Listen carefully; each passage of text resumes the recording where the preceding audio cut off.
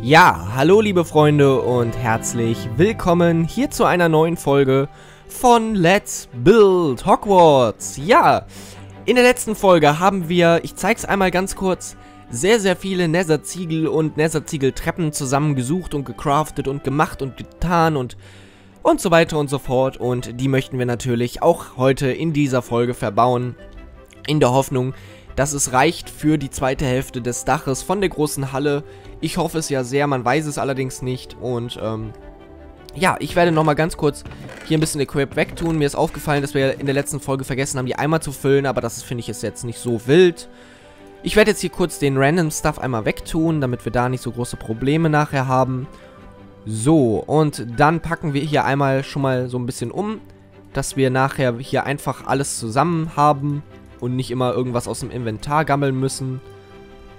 So, das reicht, denke ich schon. Und dann bewegen wir uns einmal nach oben, denn Zeit ist Geld, Geld ist wichtig und, äh, äh, äh. Dummer Vergleich. Egal. Würde ich sagen, ähm, hier an der Seite hatten wir ja noch unsere Leiter nach oben. Die werde ich natürlich weiterhin benutzen, obwohl theoretisch... Nee, komm, scheiß drauf, die benutzen wir weiter. Obwohl einen Eimer mit Wasser könnte ich wieder mitnehmen. Na komm, das machen wir noch. Das machen wir noch. Wäre ja gelacht sonst. So, einmal ab dafür. Und dann nehmen wir uns einmal... Wo ist er? Eimer. Da haben wir den Eimer. Dann nehmen wir uns allerdings nur einen mit und nehmen uns das Wasser hier einfach von unserem Feld. Das ist ja auch irgendwie so eine unendliche Wasserquelle oder so. Glaube ich. Hä? Doch nicht, oder was? Doch, so.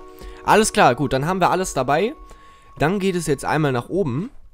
Diamantschwert natürlich wieder in die Hand.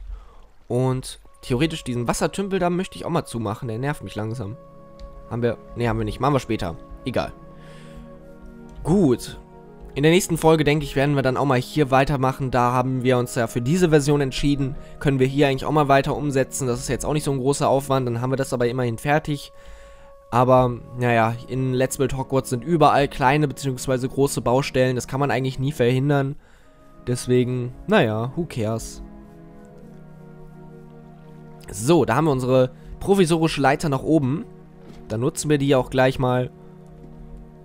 So, kann man auch erstmal sehen, wie groß das Ganze hier eigentlich ist.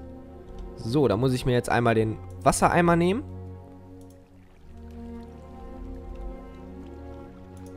So.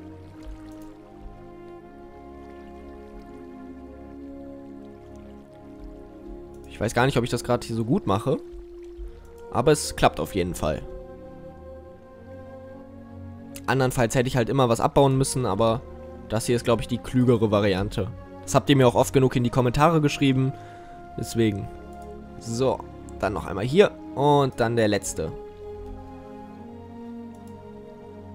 Perfekt. So, da sind wir oben. Ähm, ich weiß gar nicht, ob wir das hier schon bis zum Ende durchgezogen haben. Das werden wir jetzt einmal rausfinden. Ne, haben wir nämlich nicht.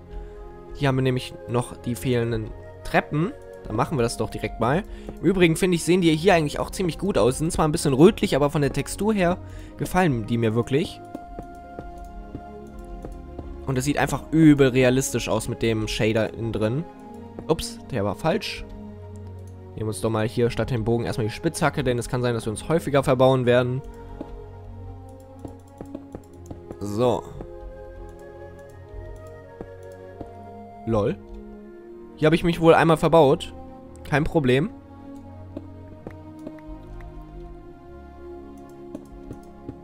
Gut, und dann machen wir jetzt hier nochmal die Treppen hin. Und dann haben wir schon die erste Hälfte jetzt wirklich geschafft. Na, muss es doch eine schnellere Methode geben. Diese zum Beispiel. Nein, verflucht. Muss ich hier nochmal korrigieren. Das ist jetzt e etwas tricky, sage ich mal. Machen wir es so. Es war ein bisschen langsamer. Aber Safety first, bevor wir uns hier tausendmal verbauen. Das ist jetzt auch nicht so der Sinn und Zweck der Sache. Machen wir es lieber safe. Geht noch ein bisschen weiter. So.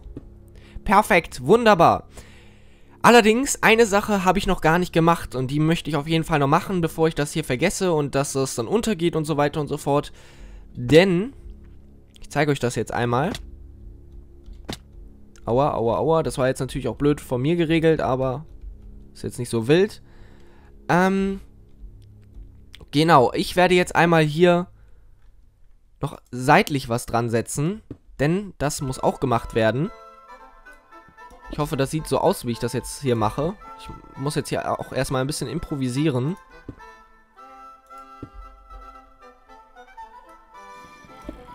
So. So. Dann schauen wir mal. Machen wir hier mal den hin. Dann der da drauf. Dann der. Der da drauf. Dann der. Dann der da drauf. Dann der. Dann der da drauf. Und der. Und nein, verflucht. Moment. So. So. Ach Mann, wie doof bin ich eigentlich? Ich habe keine Ahnung, ob das nachher gut aussieht. Ich mache das jetzt halt, damit das hier noch so einen Übergang ergibt.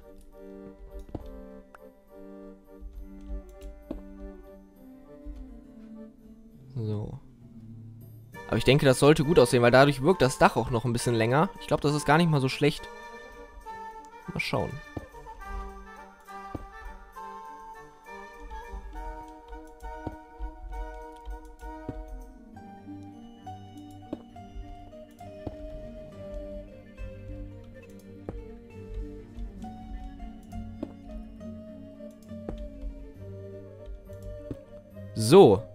Das sieht doch schon mal ganz nice aus.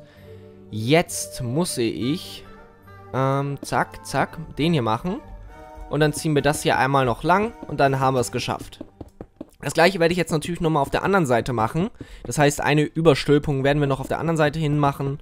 Und dann hätten wir das aber auch. Denn dadurch wirkt die große Halle auch noch ein bisschen länger. Mir ist teilweise aufgefallen, dass sie ein bisschen klein wirkt. Also, was heißt klein, aber ein bisschen ähm, nicht lang genug, sage ich mal. Deswegen ist es, glaube ich, gar nicht mal so verkehrt, wenn wir hier mal so ein bisschen... Ich fange das mal von unten an, das ist sicherer. So, jetzt muss ich aber echt aufpassen. Ich habe keinen Bock hier runterzufallen. Wow. Nein, das war falsch. Ich wünschte, hier gäbe es so einen Repeat-Button wo man einfach irgendwas rückgängig machen könnte, was man gerade gebaut hat. Ach Mann! Boah. Wie muss ich den denn hier dran setzen? Oh, jetzt. Aber ich glaube, ich habe ihn einmal richtig gesetzt. Ja. Aber da unten habe ich noch einen. Der muss weg. So, perfekt. Wunderbar. Haben wir das geschafft? Hat auch nur zwei Stunden gedauert. Und dann haben wir das hier eben fertig, weil dann ist wirklich das erste Seitendach fertig. Vorher haben wir ein bisschen gelogen, muss ich gestehen.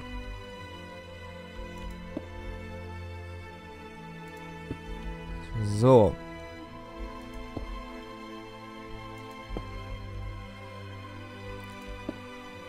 Ich muss auch ein bisschen gestehen, das Bauen hier mit dem Shader nervt ein bisschen. Weil man hat diesen Verwischungseffekt. Und der macht immer so ein bisschen, nervt so ein bisschen, muss ich sagen. Also nur beim Bauen jetzt hier, weil man dann teilweise so ein bisschen die Orientierung verliert. Ich weiß nicht, wahrscheinlich kommt das beim Zuschauen nicht so doll rüber wie beim Bauen. Muss man dann später mal schauen.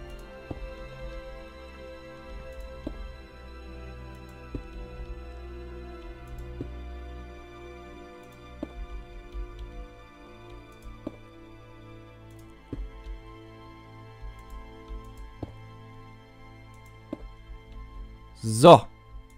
Tada! Das hätten wir. Dann ist die erste Hälfte des Daches fertig. Wir können ja einmal mal so lang laufen. Zack, zack. Zack, zack, zack, zack, zack, zack, zack, zack. So. Das ist einmal die Hälfte des Daches. Sehr, sehr cool. Da können wir hier einmal so an, an der Seite stehen. Können wir mal...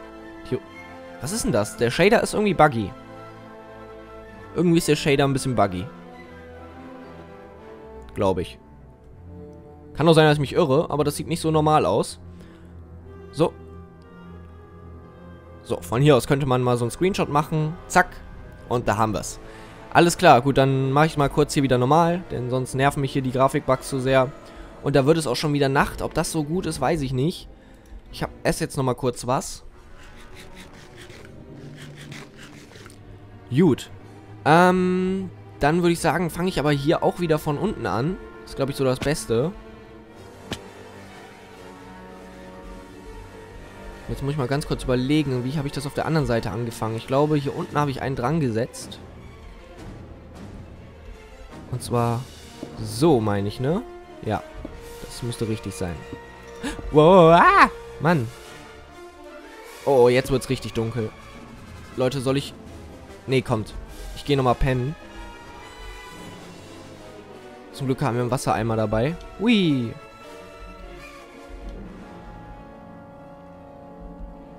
Sehr schön. So, dann einmal hier raus. Eine Fackel in die Hand, damit ihr was sehen könnt. So, Oh Gott, sind hier viele Viecher. Nein, lasst mich in Ruhe. Lasst mich alle in Ruhe. Ich bin nicht lecker.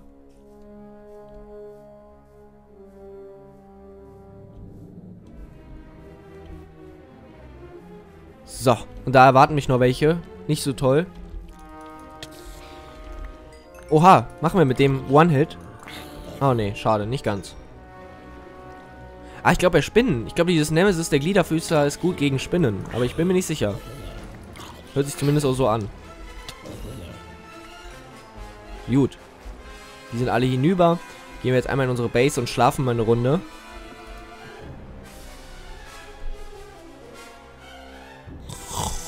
So, und wach. Alles klar. Dann schauen wir nochmal kurz ins Inventar. Da ist jetzt erstmal alles soweit ganz gut. Würde ich sagen.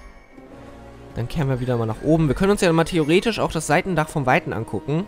Ich denke, das wäre keine schlechte Idee. Einfach mal um zu sehen, äh, funktioniert das jetzt so, wie ich es mir vorgestellt habe, oder ist es vielleicht doch nicht so toll? Können wir daraus mal ein Fazit ziehen. Wow. So, nicht mit mir, Kollege. Da ist ein Schaf. Hallo, Schaf.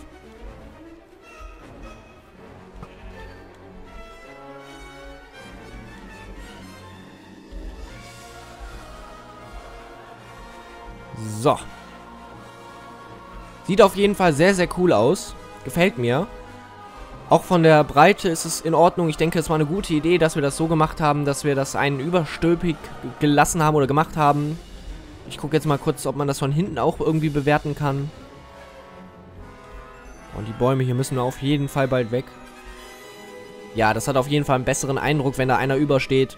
Das sieht so ein bisschen profil profilmäßiger aus, auch wenn das wieder ein blödes Wort ist. Aber ich denke, das kann man so auf jeden Fall lassen. Müssen wir jetzt nur irgendwie gucken, dass wir wieder da hochkommen. Habe ich irgendwas dabei? Nee, natürlich nicht. Den wundert's. Ähm, ja, wie machen wir es denn dann jetzt? Würde ich sagen, gehen wir nochmal ganz kurz über die eine Hälfte. Wir haben ja noch den Wassereimer dabei. Es dauert dann zwar immer ein bisschen, aber dann haben wir es auf jeden Fall geschafft. Dann kann ich jetzt nochmal direkt schauen, ob das hier wirklich so gemacht wurde wie auf der anderen Seite. Oder ob sich hier was geändert hat. Nee, aber das sieht alles ganz koscher aus. Gut. Gut, gut. Dann mache ich das hier nochmal so. Zack. Leider ist das Dach so hoch. Das wird wahrscheinlich bei dem großen Turm noch schlimmer. Denn da wird das Dach nochmal um einiges höher sein als hier auf der großen Halle. Also wirklich um einiges. Da werden wir wahrscheinlich äh, die ziemlich lange brauchen, um allein das Dach hochzukommen, falls wir da mal mehrmals ansetzen müssen.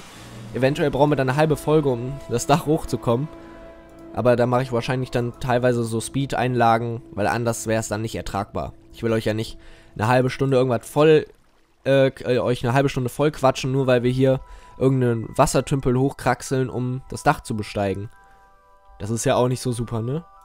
So, aber da sind wir schon drüben. Geht's noch einmal abwärts. Essen habe ich jetzt gar nichts mehr, aber egal. Und da hinten haben wir angesetzt. Da machen wir jetzt natürlich auch weiter. Na? So. Oh Mann! Das war Fail. Ja, was mache ich jetzt? Ich will jetzt nicht noch... Moment, wir machen uns hier mal kurz... Habe ich eine Schaufel? Ja, habe ich. Ich mache mal so eine Leiter auch auf dieser Seite jetzt. Ich glaube, das ist die beste Idee. Denn irgendwie scheint das sonst nicht zu funktionieren.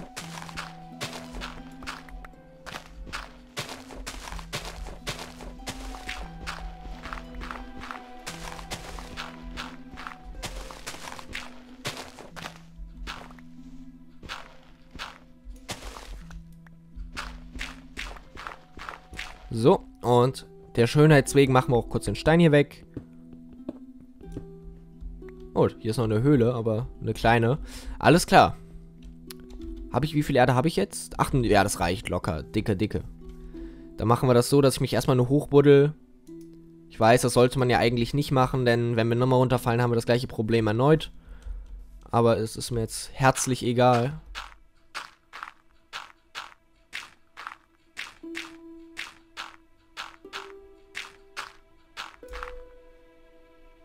Gut. So. Äh, nee, ich muss hier noch so, so und so. Perfekt. So, jetzt muss ich aber echt vorsichtig sein. Moment, so, zack. Hallo?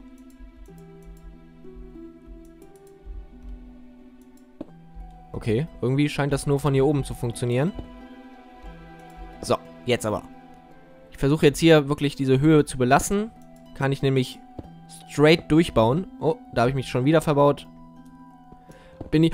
Ich bin so ein Vollpfosten, Leute. Ich bin so ein Voll... Oh, Mann. Ich konzentriere mich einfach nicht genug. Ich mache das jetzt... Scheiß auf, den nehme ich noch einmal weg, sonst haben wir wieder solche Erdebrocken. Theoretisch müsste ich das auch mit Kies machen.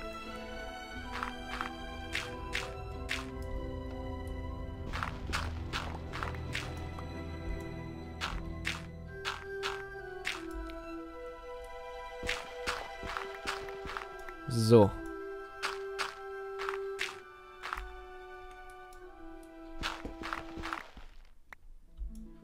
Problem ist jetzt natürlich, dass ich hier nicht mehr so richtig hochkomme. Ach man. So, machen wir es so. So, und dann jetzt der letzte Versuch. Wenn ich es jetzt wieder nicht schaffe, dann werde ich irgendwie... Keine Ahnung. Oder wir gehen dieses... Oh, Mann. Oder wir gehen dieses Stückchen hier einfach ein bisschen langsamer an. Weil sobald wir das hier geschafft haben, ist die Gefahr... Mann! Ist die Gefahr vom Runterfallen natürlich nicht mehr so gegeben.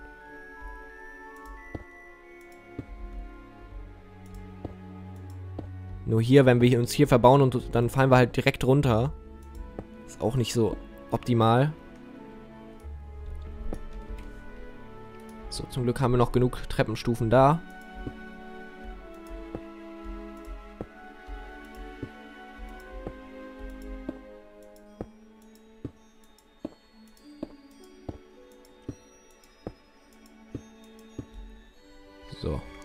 Das ist erst der zehnte Verbauer, Leute. Wahnsinn, wie gut ich bin. So, aber wir, soll wir sollten es gleich geschafft haben. Dann können wir aufatmen.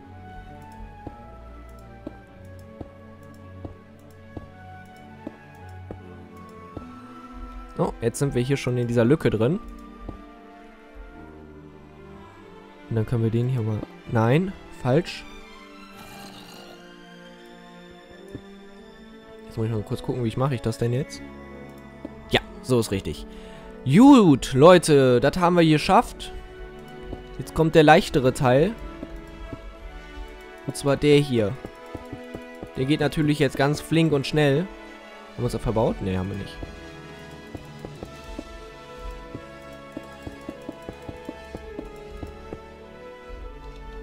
So, dann ziehen wir das jetzt einfach hier mal ganz grob lang. Hier müssen wir, glaube ich, noch einen rübersetzen. Ja, müssen wir. Aber das ist kein Problem für uns. Ja, läuft, Leute. Jetzt haben wir endlich den Dreh raus. Gut. Die nächsten kann ich jetzt hier zum Glück einfach langziehen. Das ist jetzt kein Problem. Ich glaube, nach hinten hin kann ich auch gar nicht runterfallen. Ich werde jetzt gleich nochmal schauen. Ich werde jetzt hier auf keinen Fall irgendwas schätzen. Aber ich glaube nicht. Ich glaube, wir können nicht runterfallen.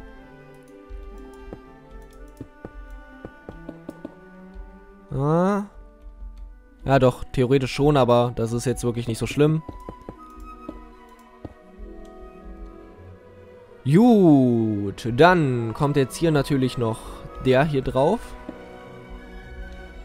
Ähm, das mache ich am besten so. Nee, Moment. Ah, das ist das Blöde, man kann nur direkt davor stehen, sonst verbaut man sich wieder.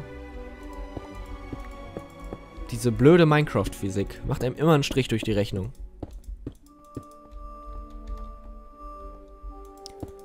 Aber ich glaube, für die, diese Hälfte des Daches wird es jetzt wahrscheinlich doch nicht so ganz reichen. Da werden wir wahrscheinlich noch eine Tour machen müssen. Aber dann ist es fertig. Und ich denke, für den Flur zum Beispiel, da brauchen wir jetzt nicht so viele.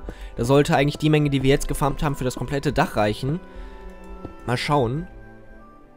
Oh ja, Treppen haben wir jetzt nur noch drei. Haben wir ein bisschen blöd einkalkuliert. Okay. Moment, dann mache ich noch kurz diese Linie hier oben. Haben wir das nämlich schon mal geschafft.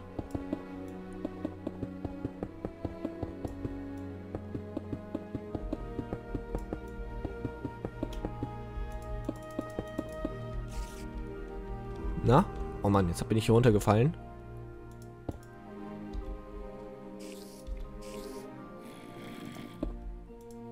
Gut. Alles klar, dann habe ich jetzt erstmal so die Sachen verbraucht, ähm, die ich da hatte. Also wir haben jetzt keine Treppenstufen mehr. Deswegen werde ich das jetzt erstmal pausieren. Wir werden das auf jeden Fall in den nächsten zwei, drei Folgen weitermachen. Weil ich das jetzt auf jeden Fall fertig haben möchte. Aber ohne Treppenstufen geht es halt hier nicht weiter. Deswegen machen wir kurz hier den Abgang und schauen einmal, ob es sich noch lohnt, in dieser Folge was Neues zu starten. Oder ob wir jetzt sagen, wir machen jetzt hier irgendwie nur noch so Krimskrams oder so. Mal gucken. Ja, das sieht aber auf jeden Fall schon ganz nett aus. Oben hin, wie gesagt, äh, die eine Seite haben wir schon fertig. Das ist alles ganz geil und ähm, ja, jetzt muss ich auf jeden Fall was essen, weil ich kann nicht mehr rennen. Das ist natürlich äußerst blöd. Naja. Ach, schneller. Da geht die Sonne schon unter. Also machen wir das gerade ziemlich gut von der Zeit her.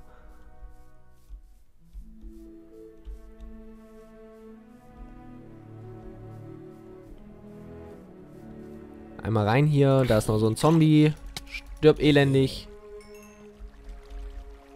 Und einmal nach unten. Gut. Jetzt müsste ich einmal was zu essen haben. Mal schauen, ob wir noch irgendwas hier in den Öfen haben, aber ich glaube nicht. Ah, warte, in der Nahrungstruhe hatte ich, glaube ich, noch was. Wenn ich mich nicht recht täusche. Da, Nahrung. Ja, noch drei gebratene Schweinefleisch. Besser als gar nichts. So. Da sind wir schon wieder etwas fitter. Und theoretisch könnte ich ja jetzt hier noch ein bisschen was abernten. Hier sehen wir übrigens... Oh, die Wassermelonen wachsen. Sehr nice. Müsste ich eigentlich mal Fackeln hinsetzen. Die kriegen nämlich hier gar kein Licht.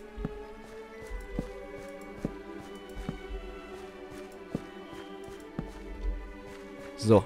Immerhin etwas. Sonst wachsen die natürlich nicht. Gut, Leute, dann würde ich sagen, schlafen wir noch einmal eine Runde. Weil die Nacht ist, als bin ich jetzt nicht so scharf drauf, da irgendwas zu arbeiten. Und dann könnten wir theoretisch mal kurz die anderen noch zu Treppen. Wie, wie viele haben wir denn jetzt noch insgesamt? Da muss ich mal kurz nachzählen. Wir haben jetzt noch circa vier Stacks. Dann mache ich kurz aus dieser Menge hier Treppen.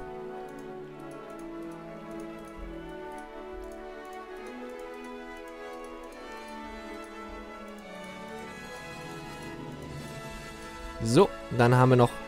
Was? Achso, hier ist noch ein Stecken. Okay, ich dachte schon. Ja, dann haben wir doch eigentlich schon wieder eine nette Menge. Das wird allerdings nicht so weit reichen. Ich denke, ich werde die jetzt erstmal weglegen. Die können wir benutzen, wenn wir nochmal eine Tour gestartet haben. Dann macht das auch Sinn. Als wenn wir jetzt hier für diese kleine Menge direkt wieder nach oben uns bewegen. Das ist einfach nur Zeitverschwendung, wie ich finde. Deswegen parken wir die erstmal oben. Beziehungsweise hier in unseren Truhen. So, alles klar. Dann würde ich jetzt einmal sagen, beende ich diese Folge. Ich hoffe, es hat euch Spaß gemacht. Mir hat es auf jeden Fall Spaß gemacht. Auch wenn ich sagen muss, dass der Shader vielleicht zum Bauen nicht so geeignet ist. Weil man dieses, diesen Verwischungseffekt teilweise hat. Manchmal stärker, manchmal schwächer. Ich weiß, man kann den ausstellen. Ich kann ja mal ganz kurz zu den Shader-Optionen gehen. Ähm, ihr könnt mir gerne mal sagen, was muss ich hier runterstellen, damit ich ein sauberes Bild habe. Das würde mich mal interessieren. Und ähm, ja, wenn euch das Ganze gefallen hat, hinterlasst mir doch ein Like, würde mich sehr freuen. Wir sehen uns das nächste Mal bei der nächsten Folge von Let's Build Hogwarts. Ciao, euer Dagi. Let's Play.